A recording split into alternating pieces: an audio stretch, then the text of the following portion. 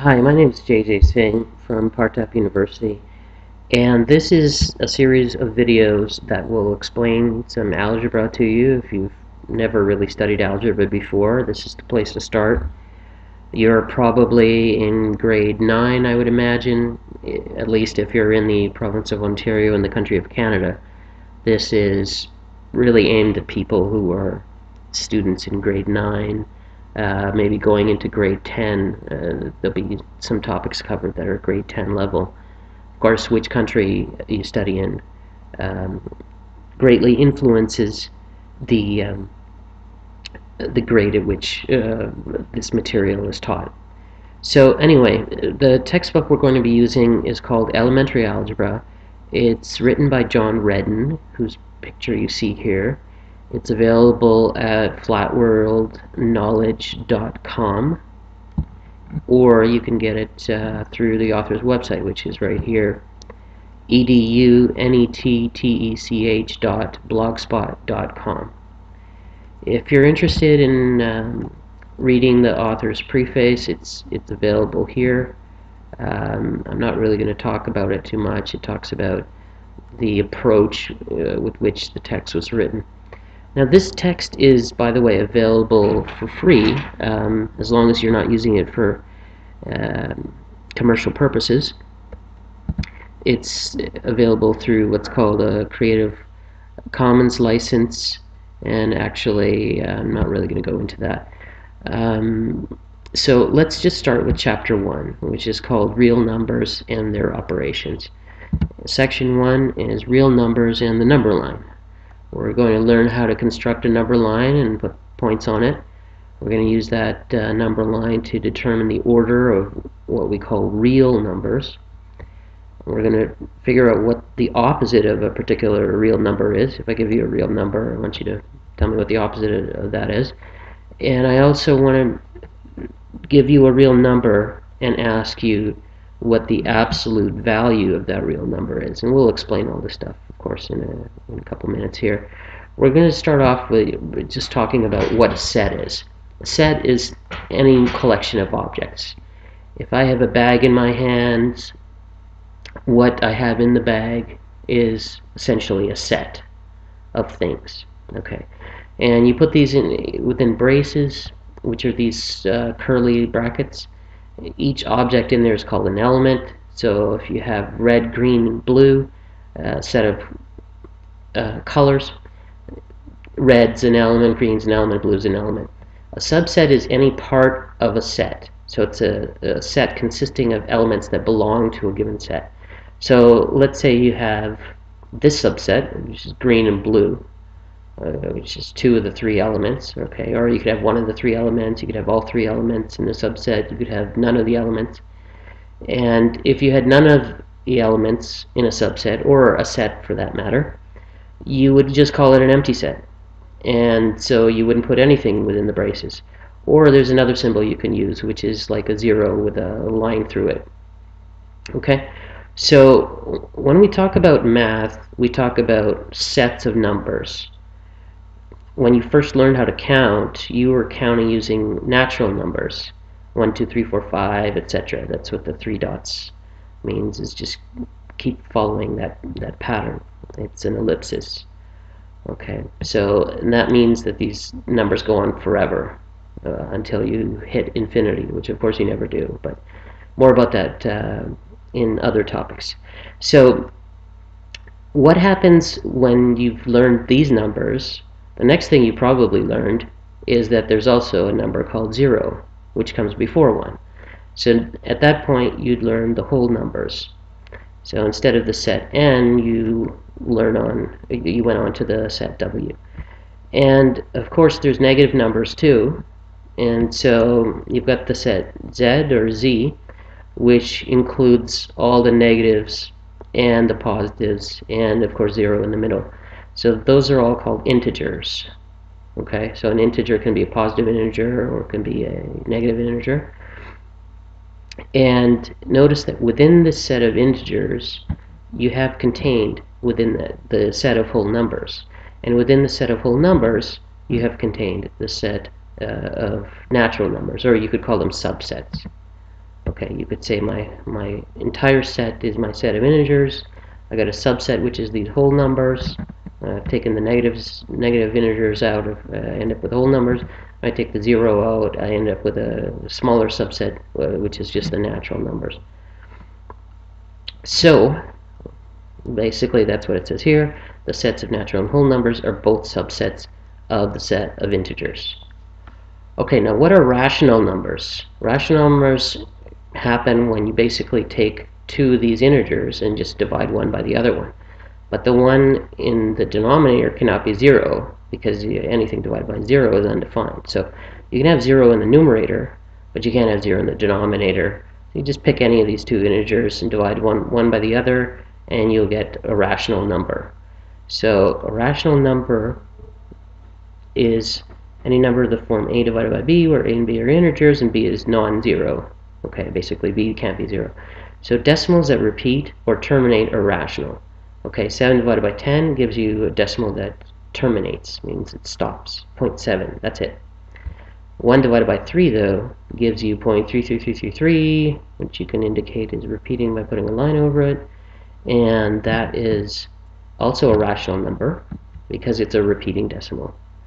So if you divide an integer by 1, you get that same integer, right? And so that's also a rational number because it's it's equal to one integer divided by another. In this case, the denominator is 1.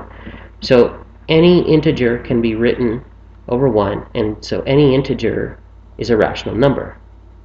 What are irrational numbers? They're numbers that cannot be written as a ratio of two integers.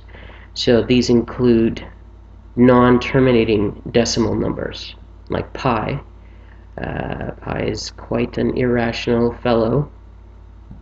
3.14159, da, da, da, da, da, da, da. It goes on, it does not repeat, so it's irrational. You've probably seen people write pi as 3.14, uh, and they just end it right there. Or some people even write 3.14159 and they end it right there those are rational numbers, but remember those are approximations of pi. They're not actually the real pi. Uh, somebody could write 22 divided by 7 and say, okay, well that's pi. But that's just an approximation of what pi is. It's not the actual irrational number pi is. It's a rational estimate of pi. Also, if you take a square root of certain numbers like 2, you'll end up with uh, this number 1.41421, etc., etc., non-terminating decimal. Again, square root of 2, irrational. So the set of real numbers is all these irrational numbers and all the rational numbers. Okay. So remember, within the rational numbers, we had integers. Within integers, we had whole numbers. Within whole numbers, we had natural numbers, right? So that's all this rational stuff over here. And you also got the ir irrational numbers over here, and in total, it's all real. So um, there's also a, another kind of numbers where you start taking square roots of negative numbers, and that's uh, something else. But that those aren't real. So those are imaginary. So anyway, these are the real numbers, the rational ones, the irrational ones, ones where you have non-terminating decimals are irrational. Ones where you have terminating or repeating uh, decimals are rational. A number line is basically a line which allows us to show where these numbers are uh, and it shows us the order in which the numbers go. Zero is going to be in the middle. We're going to put negatives on the left, positives on the right. Okay, here we're marking off, in this case, integers, but between these integers are various other rational numbers, right? Fractions and so on. So 0 is neither positive nor negative. It goes in the middle. It's always the most important part of a number line. You want to see where 0 is because that's the point at which you go from being positive to being negative or from being negative. Whoops, sorry. That's the point at which you go from being negative to being positive or you go from being positive to being negative depending on which way you're going and you'll notice that the further away you get from zero the more negative you're getting this way. Or if you the further you go away from zero this way on the right the more positive you're getting. So this will lead all the way up to positive infinity, or what we just called infinity on this side, and it will lead to what we call negative infinity on this side, and positive infinity and negative infinity are numbers which you never actually reach. Okay, so anyway, you could draw this number line using different scales. Here, instead of including every integer, they're including every uh, even integer. They're leading, uh, leaving the odd integers out. So they have a space of uh, 2 between each each mark. Okay, or here you could have a space of 1 seventh in this case, just to indicate that there's different scales you can use. Um, now, this is a graph, of, a partial graph of the set of integers, which remember we called z. Remember when we were way up here, we said the set of integers is called z.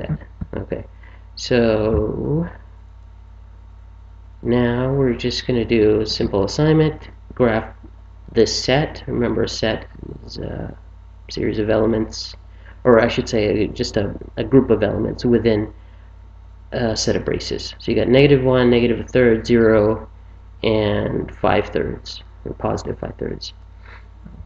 So here the way we construct the graph is we're using a scale uh, with one third between each tick mark, which is a way in which we can get these fractions involving thirds going so that they they end up nicely on our, our little number line here.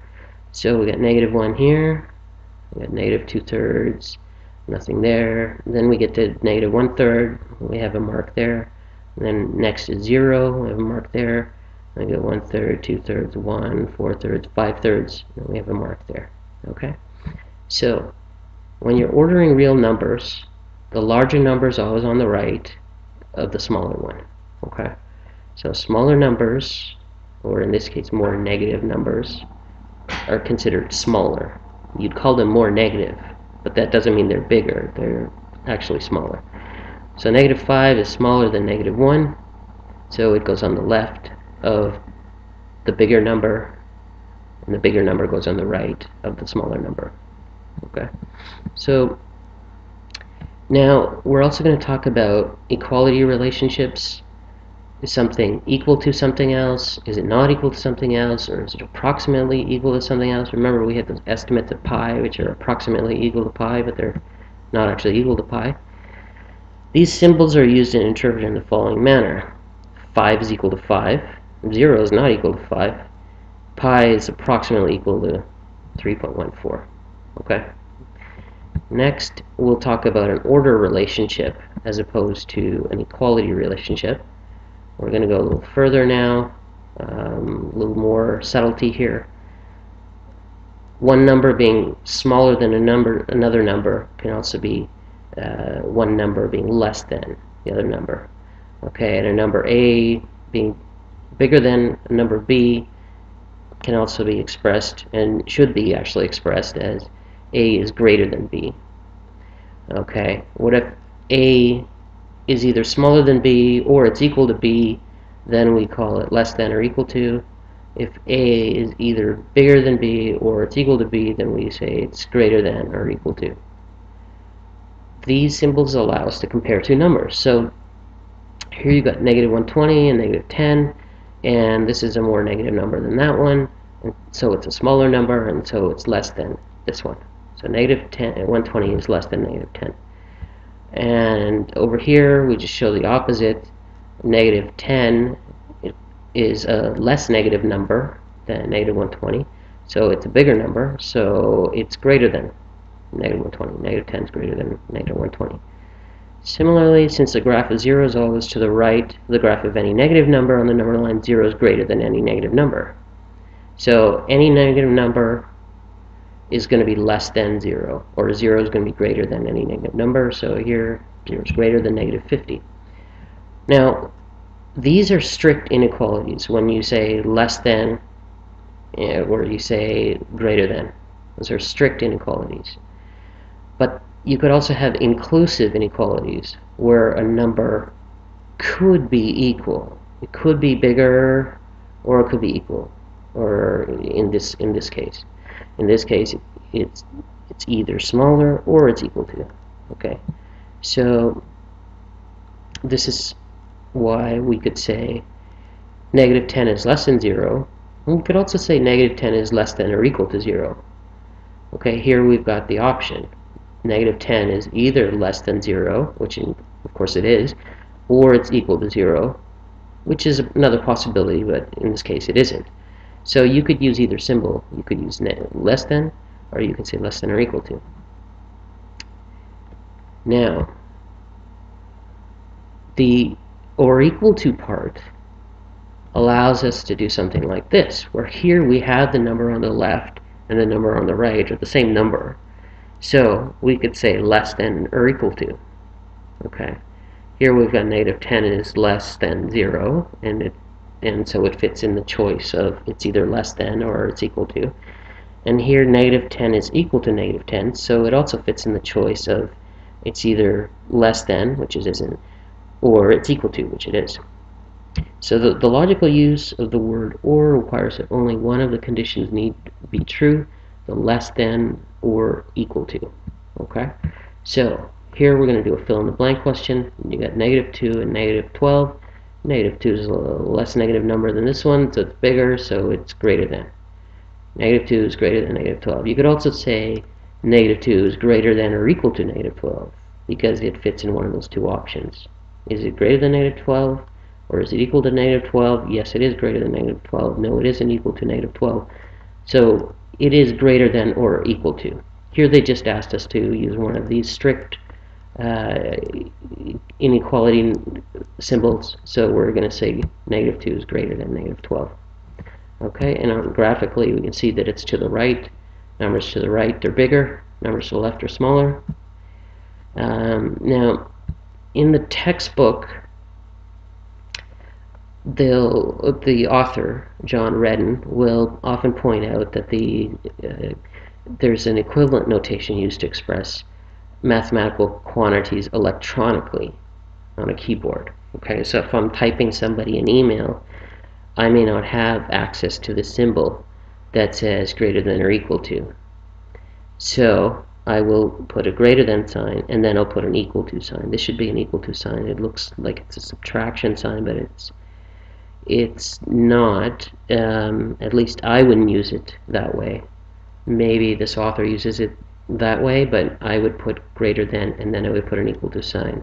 And similarly with less than, I would put less than and then an equal to sign. So it means it's less or equal. Here it means it's greater or equal. Not equal to, he's saying you can use an exclamation mark before the equal sign. So, and that doesn't just apply to writing an email. You can also use software or calculators, that sort of thing, uh, using this notation in certain cases.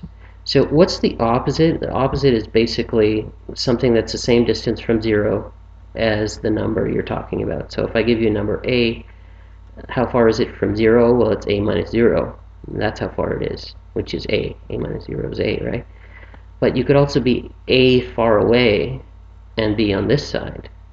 This distance is also a, right? 0 minus negative a is equal to 0 plus a, which is a. So this distance is also a. So opposites are like a mirror. If you have a mirror here at 0, somebody standing this far away from the mirror on this side, the image that they see on the other side is also standing this, this far away from, from 0. So the opposite of 10 is negative 10. The opposite of negative 10 is 10. So now we're given the number negative 7, and we want to figure out what the opposite of that is. We just basically multiply by negative 1. Whatever the number is that you want to find the opposite of, you just multiply by negative 1, and that'll tell you what the opposite is. So 10 times negative 1 is negative 10. Negative 7 times negative 1 is positive 7. And again, it's same distance away from 0. 7 units from negative 7 to 0. Because 0 minus negative 7 is 0 plus 7, which is 7. Or on this side, you got 7 is 7 away from 0 because 7 minus 0 is also 7. So here we have the opposite of negative 7 is negative negative 7 or negative 1 times the number. We just put a negative sign in front of these these brackets and basically it's the same as negative 1 multiplied by that negative and another negative being multiplied just cancel each other out. So you get positive 7. This idea leads to what's often referred to as the double negative property.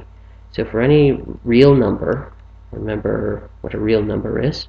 It can be a rational number, it can be an irrational number, and if it's a rational number, it can be, uh, let's just go back up here and show you. Um, if it's a rational number, it could be an integer. If it's an integer, it could be a whole number. If it's a whole number, it could be a natural number. So, anywho, uh, where are we? For any real number, like let's say we have pi, okay, um, negative pi times negative 1 is pi, right? Now, it's not a uh, rational number, but we can still do this. So, any real number you can do this with. Okay. What's the opposite of negative 3 fourths? You can just multiply negative by negative 3 fourths, negative, negative cancel out, you get 3 fourths. Simplify negative, negative 4. Here you don't actually have negative 4 in the middle, you have negative times 4, which is actually the same as negative 4. And you have another negative times that, multiplied by that. So negative times negative is cancels each other out, it's positive. So you get positive 4. Alright. Again, here you got negative, negative, negative 2. So this negative and this negative cancel each other out, so you get 2 in, within the brackets. And on the outside you got a negative, so negative 1, or negative times 2, which is negative 1 times 2 is negative 2. Okay, so if there's an even number of negative signs, the result's positive because each pair of negatives cancels each other out, right? So if it's an even number, it's going to have a bunch of pairs of negatives in it. If it's an odd number of negative signs, that means you have one more than an than an even number, right? An odd number is one more than an even number. So here, the even number of negative signs cancel each other out. Negative times negative positive, and then you also got an extra one that's what makes it an odd number of negative signs, is if you have an extra one that does not cancel out to become positive, that leaves the, the result as a negative number. So the result is negative if you have an odd number. So here you got an odd number, negatives, in front of a 5, so it's just going to be negative 5. Okay, there's a video here if you want to watch it. Uh, absolute value of real number A is denoted uh, bar a bar. Okay, I'm just going to call bar or pipe or whatever you want to call it. These are just absolute value marks. They're long lines on the left and on the right of a number. And basically, absolute value is telling you how far is this number away from the origin, which is what we call zero, the origin where everything starts. So, remember how we were talking about the mirror image is just as far away from zero as as the uh, as the as the actual person is if you're standing on one side of a mirror.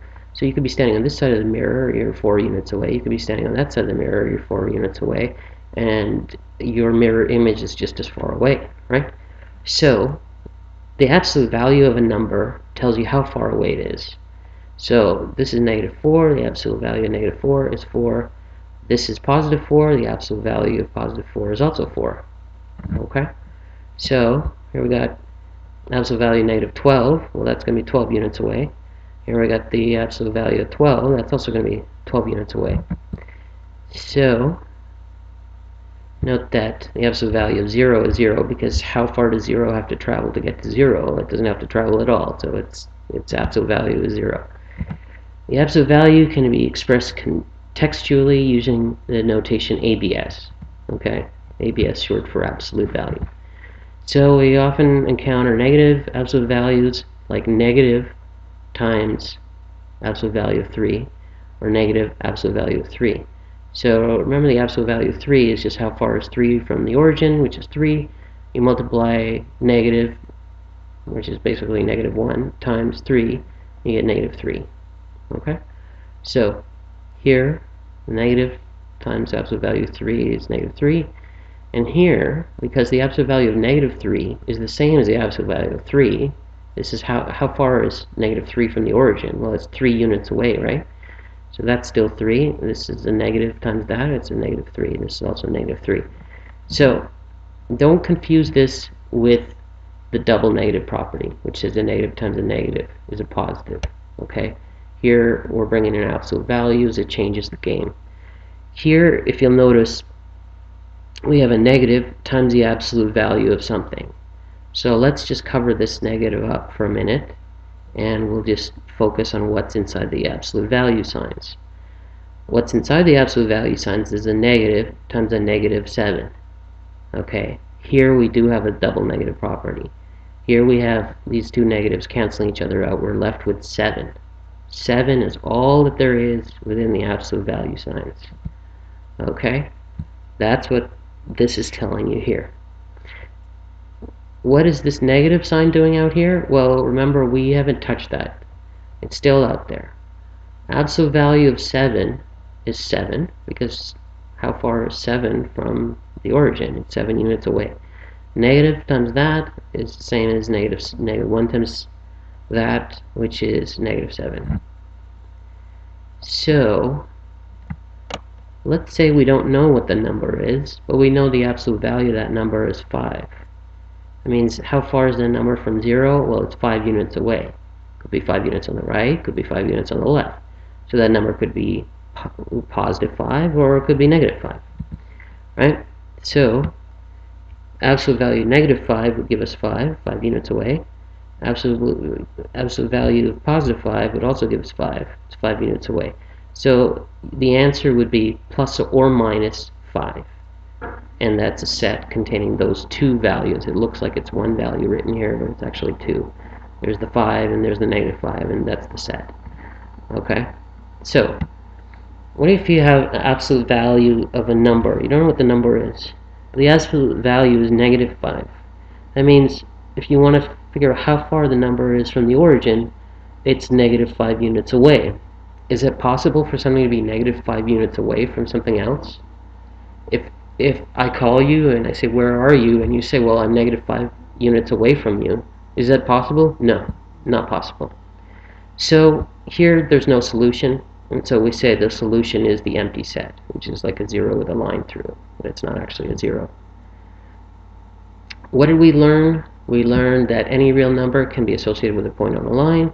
We learned that you create a number line by first identifying the origin and you mark, mark off a scale uh, appropriate for a given problem. Okay, so if you're looking at fractions of uh, 9, like 1 ninth or 3 ninths or negative 5 ninths or something like that, then you'll probably want the scale on there that, that goes 0, 1 ninths, 2 ninths, 3 ninths, 4 ninths, so on. And on the other side, 0, negative 1 ninth, negative 2 ninths, negative 3 ninths, negative 4 ninths, so on. Uh, so that you can show it nicely uh, on on the number line, the the numbers that you're trying to graph.